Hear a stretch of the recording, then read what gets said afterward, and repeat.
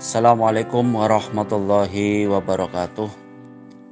Alhamdulillah Apa kabar anak-anakku siswa MTS Nurul Ilmi Jembat Markasari Pada pertemuan kali ini Akan kami sampaikan Tata tertib siswa MTS Nurul Ulum Jembayat Markasari Tahun pelajaran 2021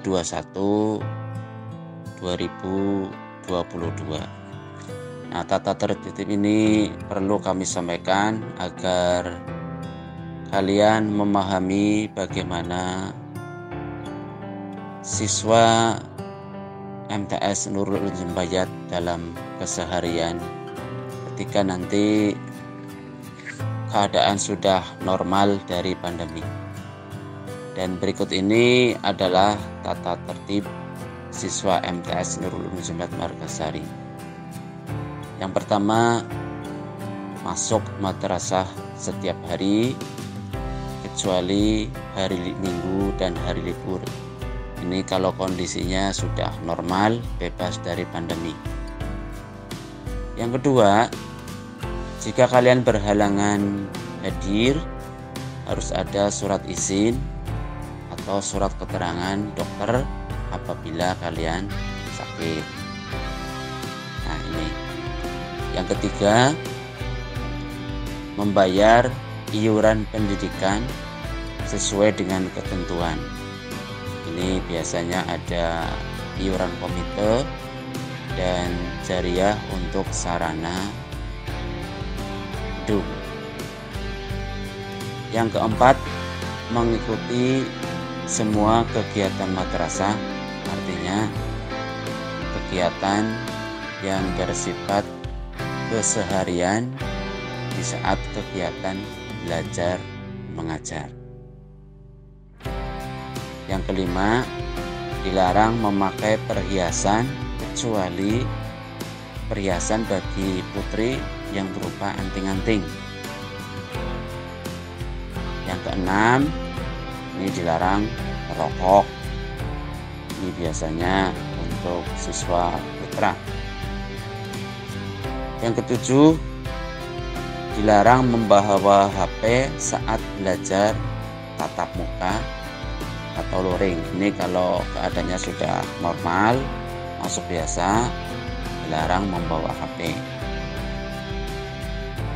Yang kedelapan, dilarang berambut gondrong bagi putra dan berkuku panjang yang kesembilan ini yang perlu diperhatikan menggunakan seragam dengan ketentuan sebagai berikut. Untuk hari Senin Selasa, kalian memakai baju putih dengan bed OSIS lengkap. Sedangkan celananya atau rok berwarna biru. Sepatu hitam, kaos kaki putih dan bagi putri kerudungnya berwarna biru. Ini untuk hari Senin dan Selasa. Hari Rabu dan Kamis baju batik, celana atau rok warna hitam, sepatu warna hitam, kaos kaki warna putih, kerudung putih. Nah, jadi kalau hari Senin Selasa putri kerudungnya biru, kalau Rabu Kamis kerudungnya putih. Kemudian hari Jumat dan Sabtu untuk baju sebagaimana umumnya pramuka, celana rok juga pramuka, sepatu kaos kaki berwarna hitam, untuk putri kerudungnya pramuka. Dan untuk hari Senin sampai Sabtu tentu saja kalian memakai ikat pinggang atau sabuk yang berlogo MTS Nurul Ulum Jembaya. Nah, kemudian yang ke-10 pakaian pramuka juga dipakai pula pada waktu latihan pramuka.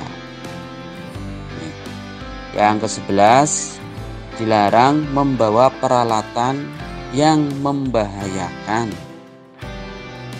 Atau alat-alat tajam kecuali alat praktek. Misal kamu membawa pisau atau alat semacamnya yang membahayakan ini tidak boleh. Yang terakhir 12 jika kalian melanggar tata tertib ini akan dikenakan sanksi hukum. Sanksinya apa? Yang pertama teguran atau peringatan. Kemudian jika masih melakukan pelanggaran ada peringatan keras dan sanksi yang paling berat nanti ada diskors atau dikeluarkan dari MTS Nurul Ulum Sembayat. Jadi itu tata tertib yang harus kalian pahami untuk dimengerti agar kegiatan belajar mengajar kalian di MTS Nurul Ulum Jembayat berlangsung secara aman, nyaman, dan kamu merasa betah di MTS Nurul Ulum Jembayat. Demikian tata tertib ini kami sampaikan. Semoga kalian dapat memahami dan dimengerti untuk dapat dilaksanakan. Wassalamualaikum warahmatullahi wabarakatuh.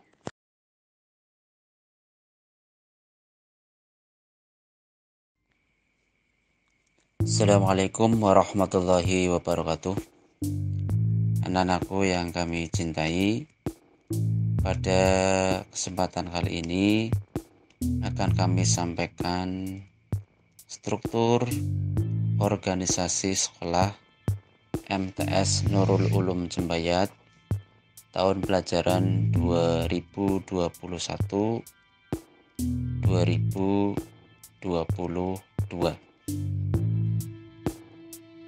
yang pertama kepala sekolah kita kepala madrasah adalah Bapak Hosein SPD kemudian komite sekolah atau yang mewakili dari wali siswa, wali murid MTS Nurul Ulum Jembayat itu adalah Bapak Kartomoyo.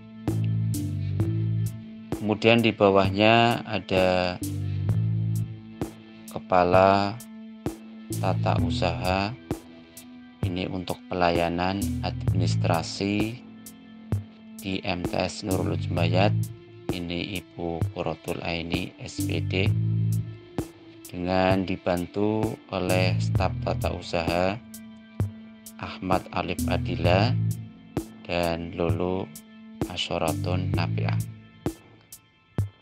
Kemudian di bawah kepala sekolah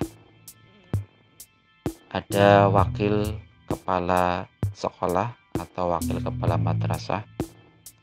Yang pertama wakil kepala bidang kurikulum ini Bapak Mahfuri SPD kemudian wakil kepala sekolah bidang kesiswaan Bapak Ahmad Yusron Faiz wakil kepala sekolah bidang sarana Bapak Fatul Amin kemudian wakil kepala sekolah untuk hubungan masyarakat atau humas Bapak Asikin SPDI. Kemudian ada kepala unit laboratorium, ini Ibu Dimalina SE.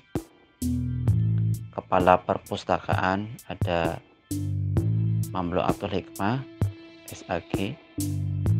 Dibantu nanti Bapak Abdul Hanan. Kemudian di bawahnya ada bimbingan penyuluhan atau bimbingan konseling nanti dipimpin atau ditanggung jawabi oleh Ibu Iis Nurul Fitriani SPD dan Ibu Ayu Saulistian SPD. Kemudian Dewan Guru MTS Nurul Ulum Jembayat. Ini kurang lebih ada 34 yang pertama Bapak Asikin SPDI mapel yang diampu adalah akidah akhlak. Kodenya B. Kemudian Ibu Kurotul Aini SPD kodenya C mengampu mapel IPA. Kemudian Dr. Anda Haja Mutiha kodenya D mapel akidah akhlak. Ibu Mamlatul Hikmah SAG kodenya E mapelnya Quran Hadis. Bapak Mahfuron SAG kodenya F mapelnya SKI Ibu Lutfatul Latifah kodenya G mengajar SKI Bapak Ahmad Badawi SAG kodenya H mengampu mapel fikih. Bapak Mahfuri kodenya I mengampu mapel IPA Bapak Suparto SPD kodenya C mapelnya IPA Haji Abdul Halik SAG kodenya K mapelnya Quran Hadis. Ibu Rina Aprilia SPD kodenya L. Mapelnya bahasa Inggris. Ibu Sulastri SPD kodenya M. Mapelnya PKN Bapak Imam Hasanuddin. Kodenya N. Mapel bahasa Inggris. Bapak Ahmad Yusron Faiz. Kodenya O mapelnya IPS Bapak Fatul Amin kodenya P mapelnya bahasa Arab. Bapak Haji Muhtaruddin SAG kodenya Q mapelnya fikih. Ibu Uhti Hasanah SPD kodenya R mapelnya matematika. Ibu Tuti Malina SE kodenya S mapelnya prakarya. Ibu Uli Rifkiati SE kodenya T. Mapelnya prakarya. Bapak Muslim Nurdin SPD kodenya U mapelnya bahasa Jawa dan bahasa Indonesia. Bapak Ismail Marzuki SAG kodenya V mapelnya bahasa Arab Bapak Sandi Sumiarto SPD kodenya W mapelnya IPS Bapak Agus Budiono SE kodenya X mapelnya penjas orkes. Ibu Dia Ayu Febriani SPD kodenya Y mapelnya bahasa Indonesia. Bapak Ahmad Fosi SPDI kodenya Z mapelnya bahasa Arab Ibu Eka Prabaratna kodenya AA mapelnya bahasa Inggris. Ibu Umi Haniatul Murtafi ASPD kodenya AB mapelnya PKN Bapak Arif Gunawan kodenya AC mapelnya Penjas. Ibu Evi Nur Setiawati kodenya AD mapelnya Matematika Ibu Dwi Retno Aryani SPD kodenya AE mapelnya Seni Budaya. Ibu Kansa Sonia Hanum SPD kodenya AF mapelnya bahasa Indonesia. Ibu Khairunisa SPD kodenya AG mapelnya matematika. Dan Ibu Lulu Aksorotul Nafi'ah. Kodenya AH mapel bahasa Indonesia nah demikian struktur organisasi sekolah MTS Nurul Jumayat dan nama Dewan Guru beserta mapel yang diampu atau yang diajarkan. Semoga kalian mengerti dan mudah-mudahan ada manfaatnya. Wassalamualaikum warahmatullahi wabarakatuh.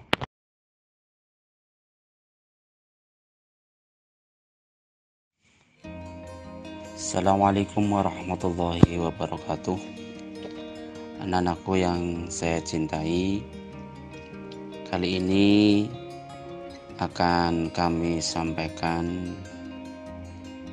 Bagaimana kegiatan belajar mengajar KPM di MTS Nurul Ulum Jembayat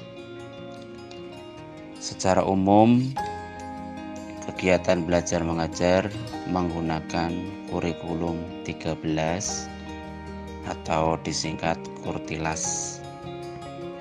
Adapun metode atau model pembelajarannya menggunakan pendekatan saintifik atau pendekatan belajar mengajar berdasarkan pada hasanah keilmiahan atau keilmuan. Nah, pada metode atau model pembelajaran dengan pendekatan saintifik ini nanti kalian akan belajar pada mata belajar apa pun dimulai dengan mengamati atau observasi. Jadi pendekatan saintifik yang pertama adalah mengamati atau observasi.